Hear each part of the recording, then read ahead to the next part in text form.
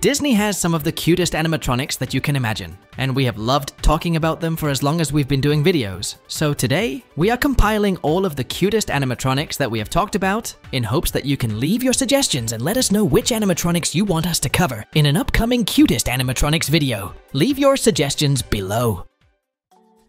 Stitch, The Enchanted Tiki Room, Stitch presents Aloha i Como Mai. You guys know how we feel about Stitch's Great Escape. If you don't and you're curious, take a look at this video. The main mistake that we think made Stitch's Great Escape a huge disaster was the main character. As we said before, even though the Stitch animatronic was amazing, the way Stitch behaved was not. Instead of being the cute, wild, playful, and likable character we grew to love, he was rude and unlikable. But this mistake was fixed at Tokyo Disneyland when the Enchanted Tiki Room, Stitch Presents Aloha i Como Mai, opened. Tokyo's Tiki Room has changed a few times since it opened. At first, the attraction was just the Japanese version of the original Tiki Room. Then it changed to the Enchanted Tiki Room Get the Fever, a new show that changed the original hosts and took the new ones to a Las Vegas nightclub, where they needed to wake up the sleeping Tiki gods by singing. The last time it changed was in 2008. When the Enchanted Tiki Room, Stitch Presents Aloha i Como Mai came to life, this new show brought new hosts to the Tiki Room who welcomed the audience and began the show by singing Hawaiian Roller Coaster Ride. As soon as this song ends, the lights go out and the chaos begins. There are drawings and messages written all over the place. The birds suspect that Big Kahuna, the leader of the Enchanted Tiki, was responsible for this, and they continue with the next song, but they are interrupted. Manu, one of the hosts, decides to ask the girls about Big Kahuna. But when they come down, we see that they are wearing blue plastic ears. They don't know where they came from, but they say that a blue creature put the ears on them. Just then, blue paint falls on the birds and they leave scared. The lights go out and lightning strikes and Stitch comes out of the fountain. He pretends to be Big Kahuna at first, but then decided to reveal that he is obviously Stitch, and that he kept interrupting the show because he wanted to be a part of it. The birds agree to let him join the show, only if he behaves. Stitch sings and plays his ukulele. He says he is happy and that everyone is part of his ohana. The show is fun and beautiful, and the Stitch animatronic is so cute. He is the Stitch we all know and love, playful and mischievous, but lovable and sweet. Everything that was missing from Stitch's Great Escape.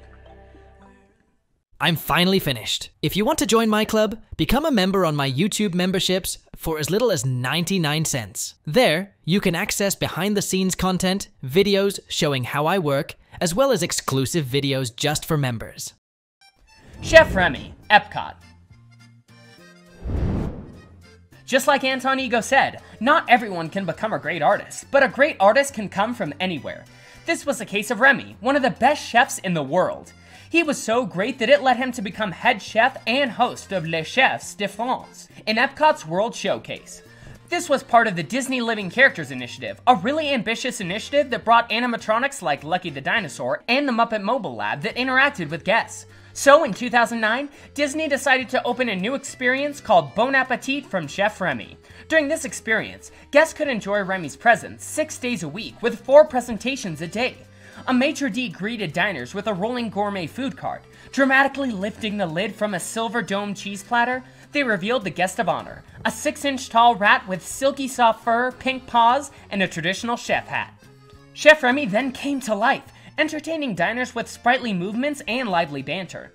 Winding their way through the restaurant, Remy and his maitre d' pal made stops at each table. In addition to his hijinks, Chef Remy might even be able to bust a move to the beat of different tunes, from the soft sway of a French love song to the hot sounds of hip hop.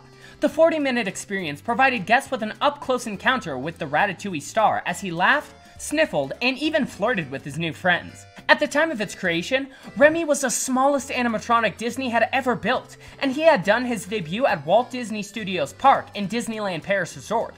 Unfortunately, this experience is no longer available, and his last presentation was on October 24th, 2013.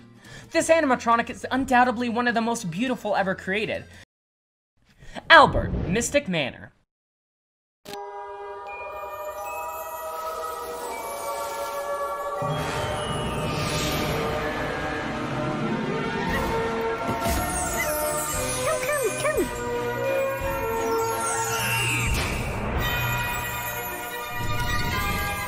喺呢度眼见嘅，究竟系幻觉定系迷离庄园？奇幻眼界由你解开。 Mystic Manor opened on May 17, 2013, at Hong Kong Disneyland. The ride tells the story of Henry Mystic and his monkey friend Albert. Albert is such a cute animatronic. He is mischievous, curious, and energetic, and his curiosity has led us to an amazing adventure. Lord Mystic has acquired an enchanted music box that is said to bring any inanimate object to life. Before we enter the ride, we can see Albert where he tells us the legend of the music box. Then we go into the acquisitions and cataloging room where Lord Mystic comes in in the form of an animatronic. He mentions the music box and tells us he is looking for Albert and then leaves. And just after he goes, Albert comes in. Obviously, Albert can't control his curiosity and unlocks the box. Magic dust escapes the box and floats into the air, bringing the artifacts to life. This ride is amazing, and we can see lots of artifacts moving and changing in each of the rooms. Albert can also be found in many different scenes, first being amazed by the mess he caused, and then trying to escape from the danger.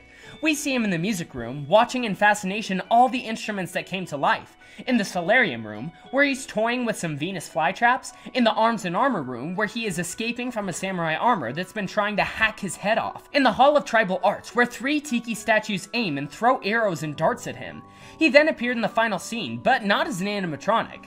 In the end, we see him in the acquisitions and cataloging room again, where he closes a box and turns everything back to normal. Lord Mystic appears again, happy to find Albert, and asks him if he touched the box. Of course, Albert denies, and our adventure is over. Albert is so cute, even if he caused this mess. The Fathiers, The Last Jedi. The Last Jedi is, without a doubt, one of the most controversial Star Wars movies ever made. But not even the biggest haters can deny the amazing job the team made with the movie's creatures. The Last Jedi brought back and created many loved and impressive creatures to the world of Star Wars. An example of these creatures is the Fathiers. These creatures were brought to life thanks to the joint work of Neal Scanlon's Creature Shop and the visual effects team of Ben Morris. Many people have described the Fathiers as space horses, but there were also many other characteristics taken from other animals, like greyhounds and cheetahs. Rian Johnson always pictured a type of horse animal with the qualities of a lion, so the team worked with the designs to create this perfect mix. They came up with the Fathiers, an 18 feet tall and long creature. A practical version of the Fathier was made, which can be seen in the film the first time we meet one of the creatures in its stall on Canto Bight. This animatronic was built and carefully guarded so that Kelly Marie Tran did not see it until the day of filming. The team hid the animatronic inside the stable and called Kelly Marie into it. Then they moved the head of the animatronic forward and captured the moment and the reaction of Tran. Her reaction was so natural that even a tear escaped from the actress. The animatronic is handled from behind on a special platform hidden in the dark. There are also special controls for the mouth, the eyes, the eye blinks, the ears, the little tweaks in the nose, the jaw, and the flaring of the cheeks. The foam latex skin that covers the mechanics was covered in thousands of hairs, punched in by hand, one by one. This animatronic also helped the VFX team to create the Fathiers that we see running around the casino, escaping. We love these creatures and definitely think they are one of the cutest creatures in the Star Wars universe. Crystal Fox, The Last Jedi. The Fathiers are not the only amazing creatures to come out of The Last Jedi. Since the trailer for the movie came out, these creatures stood out as impressive and extremely cute. The Crystal Fox, or Vulptex, are some fox-like creatures that live in Crait. Vulptex are specifically adapted to its environment by feeding off Crait's mineral surface. This diet has caused the creature's fur to become crystalline, like the planet itself. The creatures were designed by Aaron McBride, and the name Vulptex came from Lucasfilm story group member Pablo Hidalgo, who galacticized Vulpes, the Latin word for fox. To design these creatures, Neal Scanlon's team took inspiration from crystal glass chandeliers and, of course, many different species of foxes, like the Arctic fox and the red fox. The best part about this whole process was that they used a dog for inspiration. They made a suit covered in clear drinking straws and put it on the dog to get an idea for the movement of the crystal fur. From there, the creature shop used that information to build animatronic puppets, with more than 2,500 crystals that could perform in scenes with live actors while separate static models were constructed to be digitally scanned for animators. These creatures are not only part of the fauna of Crait, but also have a very important role in the movie, and they are, without a doubt, some of the cutest and most elegant creatures in the whole galaxy. Rosita, Tropical Hideaway. We love the Enchanted Tiki Room. This attraction is one of the most classic Disney attractions, and we must not forget that thanks to this attraction, animatronics were developed. Audio animatronics? Right, audio animatronics. Ooh. Audio for sound. See, and electronically animated by sound. It opened back in 1963 and it instantly became a hit. Each of the show's numbers is incredible, but one of the most iconic parts of it is when the bird mobile comes down from the roof, showcasing the six showgirl cockatoos Colette, Suzette, Mimi, Gigi, Fifi, and Josephine. Just after Pierre presents them, we hear Jose wondering whatever happened to Rosita. There were many rumors through the years about what happened to Rosita. Some said she was fired or that she flew away. Other people said that she found a new home at another attraction or store. But after all those rumors, Rosita came back. Last year, the Tropical Hideaway opened in Adventureland at Disneyland, where Aladdin's Oasis used to be. The Tropical Hideaway is a new quick service location, featuring exotic eats and a place to rest for weary world travelers and park guests alike. And it not only brought new delicious Dole Whip flavors, but it also brought Rosita. After years of performing with the Birdmobile chorus of Walt Disney's Enchanted Tiki Room, Rosita spread her wings and took flight toward a solo career. We can now find her on the river's edge. She is such a cute animatronic. She sits looking at the Jungle Cruise River, greeting guests and sharing the cutest jokes and puns that would make any Jungle Cruise skipper proud. Hopefully, her return made Jose happy. Skippy Alien Encounter. Okay, okay, Alien Encounter. We know we've talked about it a thousand times, but it was such an amazing attraction. And how could we leave this extremely cute creature off the list? Seriously, it is one of the cutest creatures Disney has come up with ever. Skippy appeared during the attraction's pre-show, where we met an XS robot known as Simulated Intelligence Robotics, or SIR for short. He was supposed to demonstrate how easy and completely painless the teleportation technology was, and for this, he would use, you guessed it, Skippy. Skippy was supposed to be teleported from one side of the room to the other, but as you may know, something goes terribly wrong. Skippy appears on the other side of the room alright, but he is burnt to a crisp, wailing and in pain. We have talked endlessly about this before, but we've never mentioned how this cool and equally sad effect was achieved. Because Skippy was a pretty complex animatronic, this couldn't be achieved by flattening it or using a simple mirror effect. What Imagineers did was lowering the animatronic so it would disappear. The way the tubes were displayed made it appear to be elevated. The animatronic went down far enough to hide the antenna. Angled mirrors were used similar to the effect for the butterfly in Imagination. Even during the Stitch era, the mirrors had to carefully reflect the wall so that no matter where you stood in the pre-show, it appears to be entirely open for the other side. Sadly, when this attraction and then Stitch's Great Escape closed, Skippy, along with the other animatronics, was not properly stored. They were destroyed and abandoned for a while. It would be a dream come true if we could have Skippy back. Baby Yoda, The Mandalorian. Star Wars fans have been divided for the last couple of years, but one thing we can all agree on is that The Mandalorian is a fantastic show. It dethroned Stranger Things as a top streaming show in the US, and it is now the most in demand series debut in the world this year. Not only does this series have an incredible story, amazing sets, and astounding production, but it also has amazing characters. One of these characters has stood out among the rest. We're of course talking about the child, or Baby Yoda as it's been nicknamed. There's a little bit of a spoiler coming up, so if you haven't watched The Mandalorian, you've been warned. Baby Yoda was present for the first time at the end of episode 1. There's little to no information about the child. We only know that it is 50 years old and that the Empire, or what remains of the Empire, is looking for it. The character was designed by Christian Alzmann. To be able to bring it to life, a mix of puppetry, animatronics, and CGI is used. The puppet is operated by two technicians. One moves the eyes and the mouth, and the other is in charge of the facial expressions. While the series was being created, Jon Favreau and executive producer Dave Filoni were unsure if a puppet would achieve the level of believability they were aiming for. So they filmed the scenes again without the puppet so that industrial light and magic artists could recreate the child in CGI in case the animatronic puppet did not work as they hoped. When shooting a scene with actor Werner Herzog, who plays a mysterious man with ties to the remnants of the Empire, the team removed the puppet and proceeded to shoot again without it. Herzog asked what they were doing, and when the team explained the situation, Herzog jokingly said that they were cowards and that they should commit to using the puppet. So they decided to commit, and the result is amazing. This puppet animatronic is amazing and so cute. Now it's 2024, and Grogu's story has been developed even further. And we keep loving this character more and more. Now that a Mandalorian film was announced, we wonder if Grogu will be a part of it, and hopefully, they will use an animatronic again. There's also a Grogu animatronic at Galaxy's Edge. You can see him and Mando roaming around the land and be lucky enough to meet them and take a picture. DJ Rex, Oga's Cantina. When the original Star Tours was changed, fans were sad to see one of their favorite Star Tours characters gone, RX 24. Disappeared and was only seen as an Easter egg in the Star Tours The Adventure Continues queue, where he is being packaged for transport with a sticker that shows he is defective. He sometimes malfunctions and uses dialogue from the previous version of Star Tours. Let's take a look at Rex's backstory. Rex is an RX series pilot droid manufactured by Rubens Robotic Systems. He was initially a pilot for the Rebels and manned a Starspeeder 2000 used to steal weapons and supplies from the Galactic Empire. Though these series of droids were built with the information of only assisting with flight, Rex took charge on most occasions and only took the passenger seat when ordered to. Nobody knows why or how RX-24 made a career change. He was sent to work as a pilot for a tourism agency. However, Rex was shipped to Star Tours marked as defective. Intended to be sent back to the factory, he sat outside his crate until after the Battle of Endor, when he was repaired in-house. Set to captain the brand new Starspeeder 3000 on its maiden voyage to Endor, Rex climbed aboard and promised passengers a smooth flight. In perhaps the biggest PR disaster in Star Tours history, many things went wrong.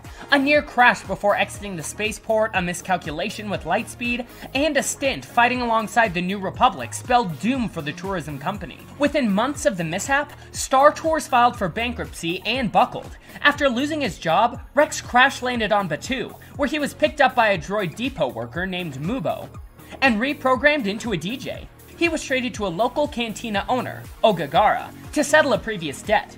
He can now be found at Oga's Cantina in the Black Spire Outpost. The original Rex was voiced by Paul Reubens, who reprised a role in Rebels and also came back to voice DJ Rex in Galaxy's Edge. DJ Rex's mixes and phrases make him an awesome DJ, one of the cutest animatronics in Batuu. Viluz, Cosmo, and Rocket, Guardians of the Galaxy Mission Breakout. Guardians of the Galaxy Mission Breakout is an amazing ride, and even though we missed the Twilight Zone Tower of Terror, we're so happy to have this great ride. The ride has awesome animatronics, and they're so cute. As soon as we enter the building and before entering the pre-show, we take a look at Tivan's collection. We can find many of the collector's treasures, some living, dead, and inanimate objects, that he has on display for tourists. Among these objects, we can find Cosmo, who was a test dog for the Russian space program before being captured by the collector for his museum. Thankfully, at the end of the ride, he can be seen escaping his cell with the rest of the Guardians of the Galaxy. We can also find some Viluz that were captured by the collector recently. These bird-like specimens are especially cool because they are interactive.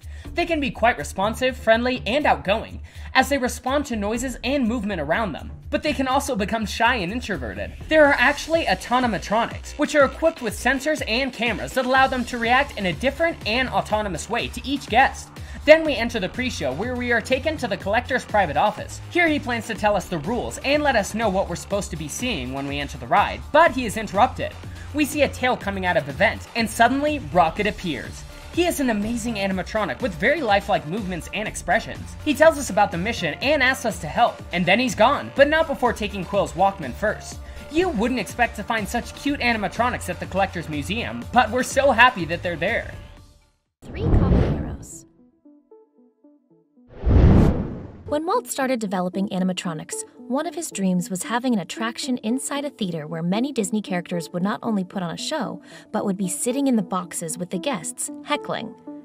This dream came true when Imagineers started planning attractions for Walt Disney World's 1971 opening. Mickey Mouse Revue was one of Magic Kingdom's opening day attractions. This attraction featured lots of different Disney characters singing and dancing and putting on a fantastic show. The show had 73 different Disney characters and 81 animatronics, so you can imagine that this attraction was full of cute animatronics. It was also the only attraction where we could find an animatronic Mickey Mouse. The show had many numbers that included amazing Disney character animatronics. There was the orchestra scene that had 23 different Disney characters, a Three Little Pigs scene, a Snow White scene, an Alice in Wonderland scene, a Cinderella scene, and many more. One of these scenes was the Three Caballeros scene. During this number, a flying carpet rose from the left of the orchestra. On this carpet, we could find the Three Caballeros Donald, Panchito, and Jose Carioca singing the Three Caballeros theme in a blaze of music and color. The coolest part about this scene is that each of the caballeros appeared and disappeared many times across the stage while singing their song. Just before the song ended, they appeared together again on the carpet and then disappeared. The show lasted almost 10 minutes. It was full of cute animatronics, and it was really cool. But as time passed, fewer people were visiting it. In fact, the attraction was downgraded from an E to a D ticket attraction, which was pretty rare. Then, when the Oriental Land Company began touring Disneyland and Disney World and choosing the attractions they wanted to have in the new Tokyo Disneyland Park, the Mickey Mouse Revue was on top of their list. And it was a lot less expensive to ship the original attraction overseas instead of recreating it. So the attraction closed on September 14, 1980, and reopened in Tokyo Disneyland on April 15, 1983. The attraction was opened for another 26 years until it sadly closed on May 25, 2006, to be replaced by Mickey's PhilharMagic. The animatronics were retired. We know that Mickey's animatronic is safe and sound in the Walt Disney Archives. It was even on display in the 2011 D23 Expo Treasures of the Walt Disney Archives. And we also know where the three caballeros are currently. The three caballeros have been beloved characters since the movie came out in 1944. This movie is very cute and has some of the most lovable characters. The film took Donald with his friends Panchito Pistolas and Jose Carioca through Mexico and Brazil. And while Panchito is the only Mexican caballero, these characters were an amazing fit to create the first IP attraction in the World Showcase at Epcot. So in 2007, Grand Fiesta Tour starring the three caballeros replaced El Rio del Tiempo in the Mexico Pavilion at Epcot. The ride takes us to Mexico, where the three caballeros are going to be performing a concert. But we find out that Donald has run off, so we need to help Jose and Panchito look for him so they can find him in time for the concert. So during the ride, we see Donald touring Mexico and Jose and Panchito on a magic serape looking for him. At the end of the ride, the boat takes us to Mexico City, where we can see fireworks off overhead and the three caballeros finally performing their concert. Since the ride's opening in 2007 until 2015, the Three Caballeros concert was shown on screen. But then on December 4, 2015, Disney quietly replaced this screen with the Three Caballeros animatronics, recycled from the Mickey Mouse Revue attraction. We love these cute birds, and we're so happy that they can still be seen. Olaf. Anna? Elsa? Sven? Samantha? Don't know it's Samantha. Let's be honest, Olaf has been one of Disney fans' favorite characters since Frozen came out back in 2013. And how could he not be if he's a wonderful mix between Josh Gad's voice, an incredibly cute design, and the creativity used for developing the character's charisma and personality? He is not only hilarious, but he is a smart, empathetic, and cute character that makes such a great synergy with every other character in the movie. That's why when Disney was planning on reimagining Epcot's Maelstrom into Frozen Ever After, Imagineers knew that Olaf had to be a huge part of the ride. So in June 2016, Frozen Ever After opened its doors. This new ride uses a combination of physical sets, audio animatronics, and projections to bring the hit movie to life in a new and exciting way. And one of the cutest and most impressive animatronics of this ride is Olaf. Imagineers created this animatronic so perfectly that its fluid movements make it hard to tell it apart from animation. This figure also has the help of projection technology for its eyes. And even though we're not big fans of projection on animatronics, it does not take away from the awesome job Imagineers made on this cute character. Olaf sings, moves, and even walks across the stage, all of this thanks to a special rig that was adapted for the animatronic. In this scene, Olaf sings a modified version of Do You Want to Build a Snowman? He appears again as soon as we enter Elsa's palace. But this is not the first time an Olaf animatronic has appeared at a Disney park. Back in 2013, Disneyland opened a new meet and greet experience in Fantasyland where guests could meet Anna and Elsa. This experience was obviously very popular, and it had a wait time of up to 120 minutes. So Imagineers created an animatronic Olaf that waited outside with guests. This temporary experience only lasted about a year, and sadly, this animatronic was never seen again. Olaf is so cute, and we're glad we get to see him in animatronic form. Oddball and the 101 Dalmatians Animals 101 Dalmatians is a huge classic and such a cute movie. People all over seem to love it. And so, Disney decided to create a live action remake of it. The film sadly did not have great reception with critics and was very polemic because many irresponsible people watched the movie, bought Dalmatian puppies right after, and then, when they grew tired, abandoned them. But in spite of these dilemmas, we can't deny the huge work that everybody who worked on the project did. Glenn Close as Cruella was amazing and terrifying at the same time. But the best part of this remake was able to be done because of the huge talent of Industrial Light and Magic and Jim Henson's Creature Shop, who created effects and animatronics for the film. John Hughes and Stephen Herek's intention was to use real animals in the making of 101 Dalmatians, and they did. However, there are some shots and scenes which would not have been possible without the wizardry of these studios. Jim Henson's Creature Shop already had lots of experience on projects of this type, having worked and won many awards for projects like Babe. In particular, the Creature Shop was commissioned to produce a range of young and newborn animatronic puppies. Other animatronic creations include the back end of a horse, used to catapult Cruella through a barn door, an Airedale dog, a dead tiger, and a raccoon and pig. Industrial Light and Magic added puppies to scenes to give the illusion of 99 puppies fleeing from Horace and Jasper, as well as digitally renovating the DeVille mansion and multiplying Pongo and Purdy's puppies to give the illusion of 1,000 puppies. To promote the movie, Disney recreated the creature shop inside of the now retired backstage pass attraction at Disney's Hollywood Studios, and they brought these animatronics so guests could see them and interact with them. Then, in 2000, the film's sequel, 102 Dalmatians, came out. This time, Neal Scanlon was in charge of creating the animatronics. If this name sounds familiar to you, it might be because we have talked about him before. He was responsible for creating the Crystal Foxes and the Fathiers, two of our cutest animatronics from Part 1. For this sequel, there were many high tech animatronics created. We have talked about how there are animatronics that are controlled remotely by puppeteers. This time, they used only one console that could be configured to handle different animatronics. Among the many animatronics that were created for this film, we can find two red macaws that were moved with the console, and a third one that was created with a special rig that allowed it to walk. The newborn puppies were so realistic, it was hard to tell them apart from real puppies. In this sequel, we have a new star. Oddball is a cute puppy that never developed spots. This new puppy had to be recreated as an animatronic and was used during production within group puppy sequences. It was beautifully and realistically detailed, right down to the individual claws on each paw. The front paws feature two slightly protruding metal rods, and there are also screw holes to the plastic foot plates of the rear paws. Originally, the animatronics would have given movement to the neck and possibly slight movement within the body. There were several oddball animatronics made, and one of these was auctioned by iCollector.com. It was sold for 650 pounds, which is a steal considering the technology and developing that went with creating it. We love these movies, even if they're not perfect. The great work behind them should really be appreciated.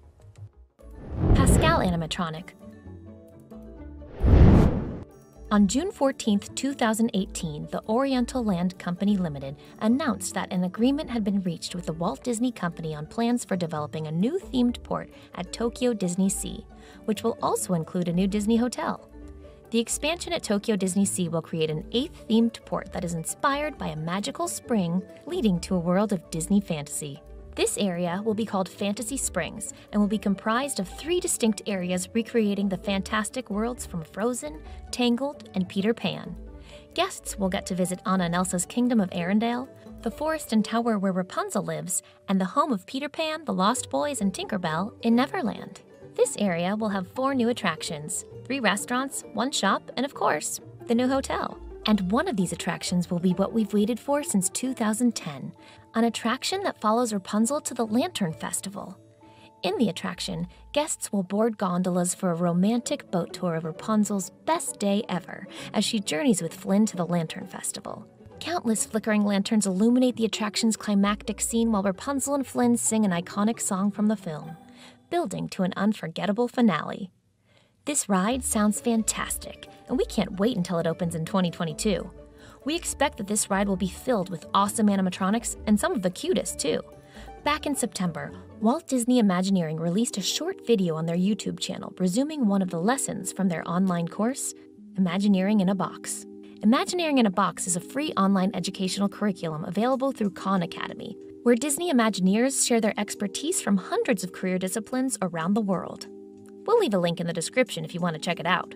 But back to the video they released a lesson talking about character development, and in this video, they showed us a glimpse of the latest all electronic animatronic figure, Pascal.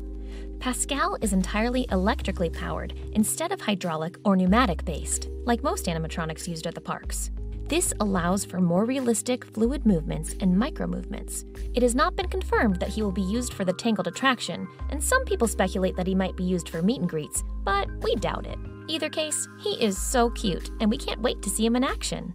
So many things happened that made the opening of Fantasy Springs be delayed. Thankfully, it has been announced that it will open on June 6 of this year. Chandu. Tokyo Disney Sea is considered one of the best Disney parks, if not the best Disney park in the world. It's got a fantastic theming and equally impressive rides. One of these rides is Sinbad's Storybook Voyage.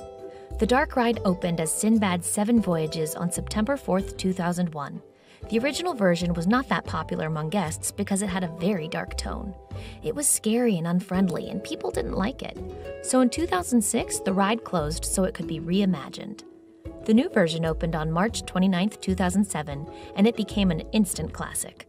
For this new version, Imagineers restaged most scenes, altered many of the animatronic figures, and gave the ride's story more focus. They added the now famous Compass of Your Heart song, written by none other than Alan Menken. But more importantly, they added Chandu. Chandu is Sinbad's cute sidekick. When the ride was changed, Sinbad's human crew was recast as pirates or other figures, so Sinbad needed a sidekick, and Chandu was the perfect one. Chandu became Sinbad's only recurring companion, and the two voyage out on adventures and help people along the way. Chandu can be seen in almost every scene during this ride. At the start of the ride, we find ourselves entering Sinbad's home village in Baghdad, where the people of the village are wishing Sinbad and Chandu a safe journey. Here we can see Chandu on Sinbad's boat with a map in his mouth. We pass through the tunnel and get to a rainstorm where we can see Sinbad's broken ship and two mermaids who saved Sinbad and Chandu. They get another boat, and we see Chandu on top of the sail as Sinbad thanks the mermaids for saving them.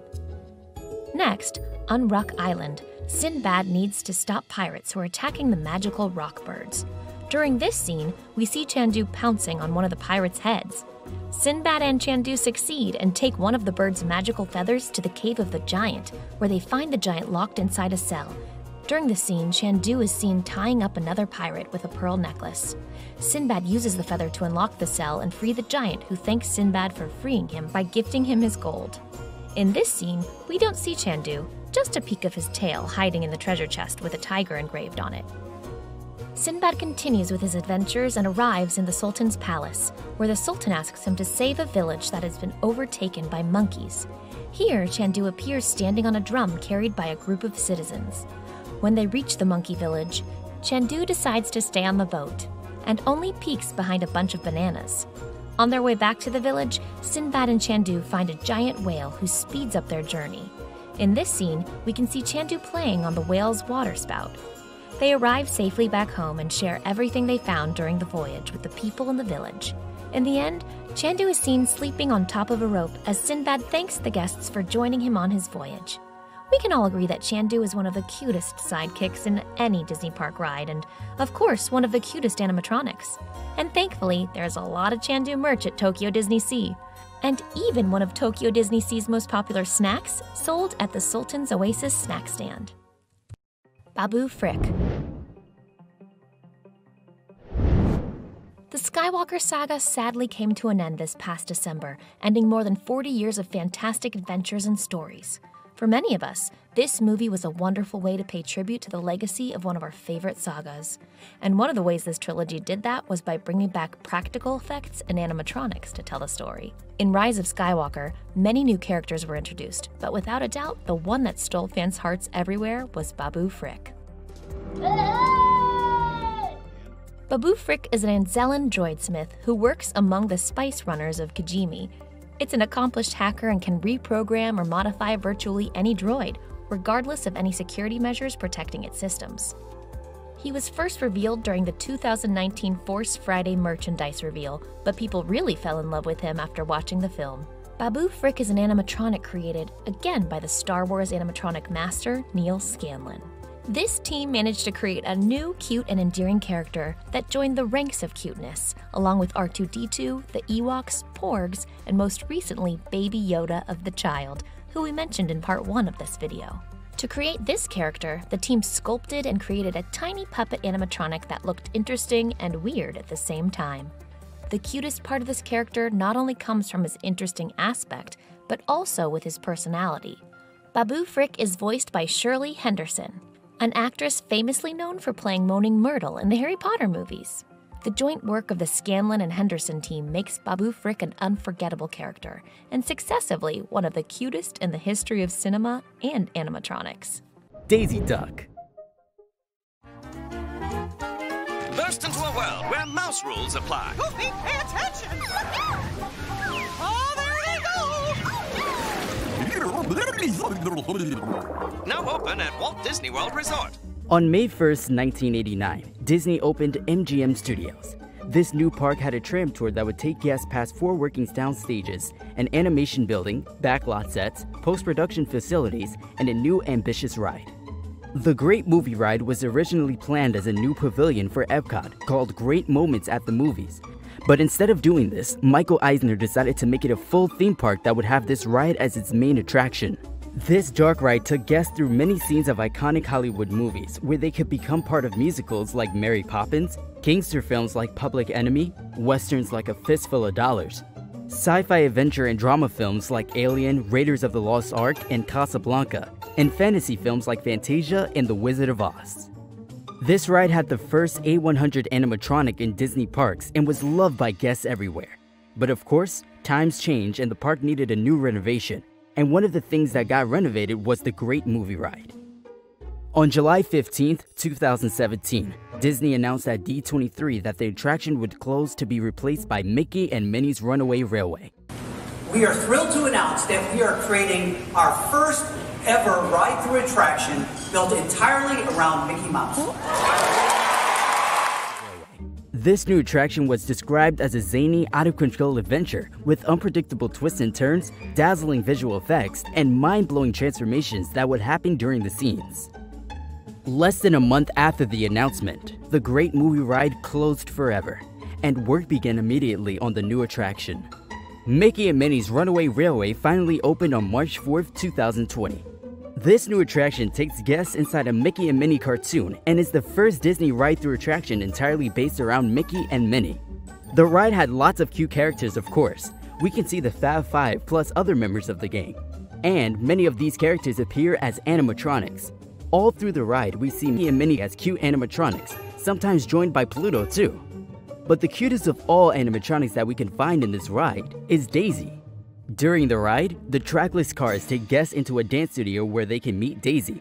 Daisy begins her class by asking the trackless cars to get in position and then counting the steps so they can learn how to waltz. After a while, the cars stop waltzing and Daisy announces a congo. And the cars congo out the studio. This is arguably the best animatronic in this ride. She is small and very cute and has limited but realistic moves. We can't help but wish that there were more animatronics like these in the ride. Now, Mickey and Minnie's Runaway Railway has also opened at Disneyland, and it quickly became one of our favorite rides. Luxo Jr., Hollywood Studios in California Adventure. We can't think of Pixar without thinking of Luxo Jr., and that is because Luxo is not only Pixar's mascot, but it also put Pixar on the map as a pioneer of 3D animation. Pixar is a leader in the creation of tools that allow people to understand data through the technology of visualization. Back in 1986, John Lasseter created Luxo Jr., drawing inspiration from a Luxo lamp on his drawing table. He did this to create a graphic rendering model and experiment with it, using it for motion studies where he used the main principles of animation as well as simulations of light and shadows. At first, Luxo Jr. was just used for this, but then Belgian animator Raoul Servais convinced Lasseter to create a whole plot and story for the character. So, the short Luxo Jr. was created and presented at SIGGRAPH, an annual computer technology exhibition attended by thousands of industry professionals. The film received critical acclaim for its photorealistic style and emotional impact, and Pixar, as well as Luxo Jr., became legends.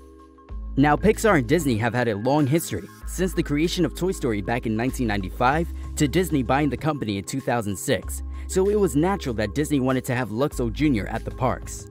So in 2009, and as part of the Living Characters Initiative, which you can know more about if you click here, Disney brought Luxo Jr. to life as an animatronic. This animatronic could be found near Toy Story Mania at Disney's Hollywood Studios. This cute new animatronic was part of a mini show that took place every 15 minutes, where Luxo Jr. would come out, interact with guests, and dance to many Pixar songs. That same year, Disney started creating and selling Luxo Jr. merchandise. But this resulted in a lawsuit by Luxo ASA, the Norwegian company that manufactures Luxo lamps, who claimed that Disney violated its trademarks by selling promotional lamps branded as the Luxo Jr. character. Disney reached a settlement with Luxo ASA and agreed not to sell Luxo Jr. lamps, while Luxo ASA did not object to artist renditions of the lamp and allowed Pixar to keep using Luxo Jr. as a character. And curiously, after this settlement, the Luxo Jr. animatronic was retired from Hollywood studios. Many people say that this was part of the deal, while others say it was because of technical difficulties. Whatever the case, the animatronic was removed. Luckily, Luxo Jr. did come back to the parks. Nowadays, he can be found at the entrance of Pixar Pier. This new animatronic is not as complex as the one that appeared at Hollywood Studios, but it is really cute. Mickey Mouse Mickey Mouse Revue We've talked a lot about this attraction, but it's one of our favorite retired attractions and one that we would love to see come back. Back when Walt Disney started thinking of ways to use animatronics for attractions in the parks, he came up with the idea of an attraction that would be a theater where Disney characters would put on a show and even sit in the boxes with guests. Sadly, he never saw this become a reality, but his dream came true when Walt Disney World opened in 1971. Mickey Mouse Revue was one of the Magic Kingdom's opening day attractions. In this attraction, many Disney characters sang, danced, and put on a fantastic show inside a theater. The show had 73 different characters and 81 animatronics, because some characters appeared more than once during the show. The show was full of cute animatronics everywhere, but the cutest animatronic in this show was without a doubt Mickey Mouse.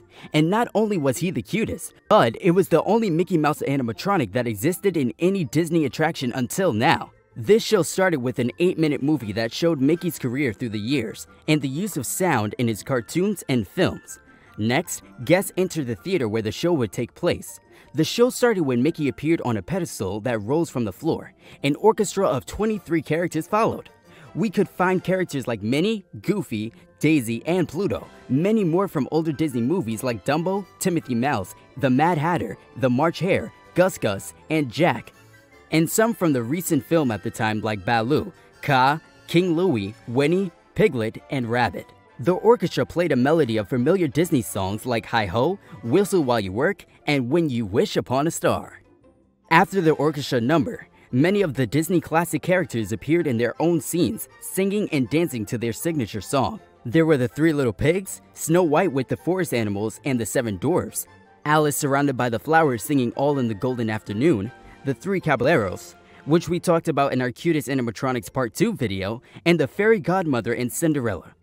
After this last scene, Brer Fox, Brer Bear, and Brer Rabbit appeared singing their theme song, and soon after the whole cast appeared and sang together. When they finished, the entire stage went dark except for Mickey. The Mickey Mouse alma mater started playing, and then Mickey announced the show was over.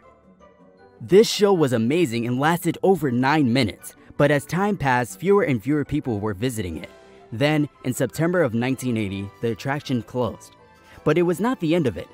The attraction was shipped overseas and installed in a new Tokyo Disneyland park in 1983. Here, the attraction was opened for another 26 years until it sadly closed on May 25, 2006, to be replaced by Mickey's PhilharMagic. Some animatronics were put away, others were recycled for other attractions, and we can happily report that Mickey's animatronic is safe and sound in the Walt Disney Archives. It was even on display in the 2011 D23 Expo Treasures of Walt Disney's Archives. Hopefully, one day Disney will bring back this attraction, but it is unlikely that this will happen. BB-8 Rise of the Resistance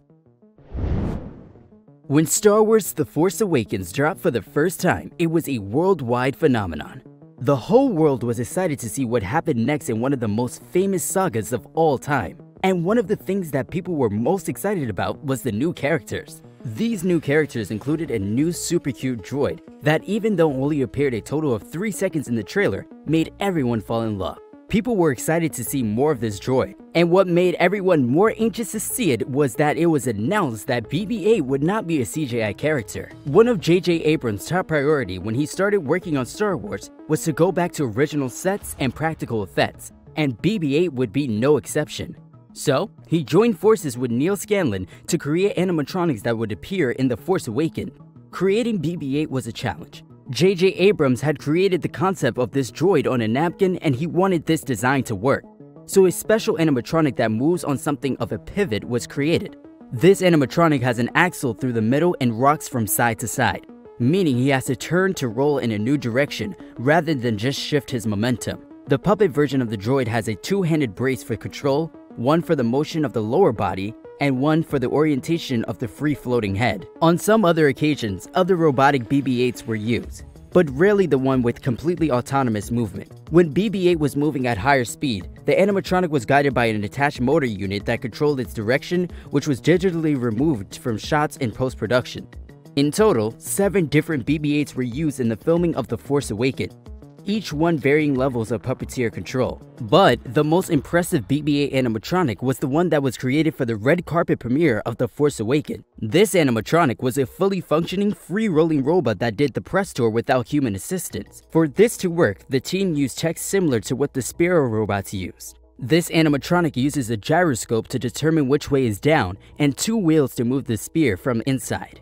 When Rise of the Resistance opened at both Hollywood Studios and Disneyland, we were all happy to see that Imagineers had added not one, but two BB-8 animatronics to the ride. First, in the Q pre-show, Guests find a super cute BB-8 who is waiting for a transmission from Rey, who then travels and explains that a group of resistant agents, including Finn, have boarded a Star Destroyer that is en route to the Batuu system. Believing the base to be no longer safe, Rey explains that guests will be boarding transports to rendezvous with Leia Organa and Bacara. Next, guests go out in order to board this transport, and BB-8 appears again, this time on Poe X-Wing. BB-8 is, without a doubt, the cutest droid in the galaxy. Figment Imagination Pavilion. So, as we said before, Epcot was a great opportunity for Disney to create new characters and rides that didn't rely on previously created Disney characters. So, while creating the park, Imagineers needed these new characters for the park's new pavilion. One of these pavilion was the Imagination Pavilion. The Imagination Pavilion's signature ride was Journey into Imagination, and the ride had two main characters. These characters were the musical Dreamfinder, a kindly, dreamy inventor that created Figment, a cute purple dragon from sparks and ideas he collected with his flying machine. Journey into Imagination was beautiful. It followed Dreamfinder and Figment through a musical adventure of arts, literature, entertainment, and music. One Little Spark, the famous Sherman Brothers song, could be heard throughout the ride, and it talked about how just a little bit of inspiration could create an entire world of imagination. In the ride, we could see animatronics of the Dreamfinder and, of course, Figment. Figment was portrayed originally as a young and curious student of the imagination to Dreamfinder. He appeared several times as an animatronic, and each time he was such a cute character. The ride and characters were beloved by Epcot guests all over. But then, Disney decided to re-theme the dark ride to match the film in the pavilion's 3D theater, Honey, I Shrunk the Audience. The ride was renamed Journey into Your Imagination. Its track was literally cut in half, reducing the ride time from 12 minutes to 6 minutes. Figment's animatronics disappeared, and he made a single cameo, hidden in a constellation on the ceiling, and the Dreamfinder was completely gone. This ride was awful. It became a cold and quirky tour of the Imagination Institute's Sense Labs, and it failed to inspire or excite anyone. This version of the ride received so much criticism from the public that it only survived two years before it was replaced. The ride reopened as Journey into Imagination with Figment, and while the Dreamfinder was still nowhere to be found, we thankfully had Figment back, with a more significant role appearing in every single show scene. This new ride takes guests through Dr. Channing's sensory labs, where we can learn about the five senses sound, sight, smell, touch, and taste. The famous theme tune of the original ride, One Little Spark, is also back. In this ride, Figment is well aware of what imagination is, and is mostly a prankster pulling pranks on Dr. Nigel Channing until he is willing to listen to him and his lesson that imagination works best when set free. Figment has always been such a cute character in everything he has appeared in. He had his own series within the Epcot educational media line titled Language Arts Through Imagination, where he would invite children to his playhouse in an imaginary realm called Fignonia, exploring different reading and writing concepts. I'm Figment, I'm a dragon. Oh golly double G, just use the magic in your mind. I'm Figment, that's me! He has also appeared in comics and as an Easter egg in movies and at parks. Journey into Imagination with Figment might not be as incredible as Journey into Imagination was, but we're so happy to see Figment come back as an animatronic, and we hope that this character will remain a big part of Imagination Pavilion at Epcot for years and years to come. Thanks for watching. See you next week.